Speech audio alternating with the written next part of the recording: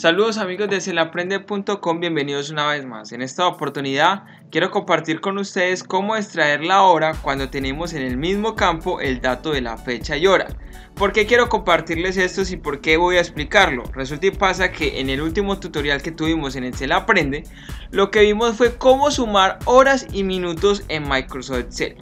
Uno de los suscriptores del canal, el señor Miguel, nos pregunta, a través de su comentario. Nos dice muy buen video, pero ¿cómo se trabajaría si tenemos el formato fecha y hora dentro del mismo campo? Bueno Miguel, espero estés viendo este video y puedas resolver tu duda e inquietud y puedas aplicar este ejercicio en tu plantilla o en tu formato. Observemos entonces, tenemos entonces la fecha, espacio y tenemos la hora. Vamos a ampliar el ancho de esta columna y como ustedes pueden observar entonces tenemos fecha y hora. En el anterior formato lo único que teníamos era la hora. Vamos a decirle aquí con su Z. Lo único que teníamos era la hora. Por ende entonces podíamos sumar tranquilamente lo que eran horas, minutos y segundos. Pero entonces la pregunta es, y es algo muy eh, digamos que muy razonable porque muchos de nuestros software al momento de exportar la información o muchas de nuestras plantillas digitamos tanto la fecha como la hora en el mismo campo. Entonces si queremos extraerla vamos a arrastrar un momentico esto por acá para que hagamos el ejercicio bien. Entonces vamos a ampliar un poquitico acá. Vamos a colocar aquí. Entonces aquí tenemos lo que es la fecha y hora. Y aquí como solamente solo la hora cómo vamos a extraer solo la hora. Entonces miren que es algo muy sencillo y muy práctico que ustedes pueden aplicar. Y es lo siguiente, le vamos a decir igual residuo y vamos a decir en el primer argumento número. En el argumento número vamos a seleccionar el campo donde tenemos la fecha y la hora.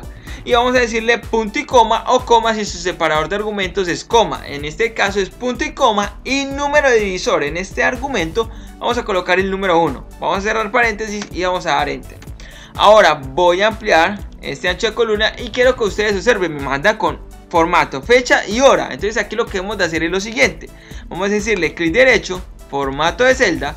Y en este formato personalizado sencillamente podemos seleccionar lo que es horas y minutos. Se necesitan los segundos, vas a seleccionar este otro formato. Entonces en este caso simplemente H, dos puntos, MM y le vamos a decir aceptar. Entonces como hemos extraído, vamos a decirle aquí igual, eh, fórmula texto y hemos usado la función residuo en el primer argumento número. Lo que hemos es usado la, el valor en este argumento número. Lo que hemos usado el valor donde está la fecha y la hora. Y lo hemos usado en el argumento número como divisor el número 1 y hemos extraído lo que es la hora únicamente. Entonces Miguel esta es la manera en la que puedes extraer únicamente la hora. Y para todos cómo lo pueden hacer de manera sencilla y práctica y como ustedes pueden observar, no nos hemos demorado mucho en resolver esta situación. Ahora lo que podemos hacer es sencillamente control C y vamos a pegar como valor para que ustedes observen Acá en la barra de fórmulas ustedes pueden observar que únicamente nos ha quedado el valor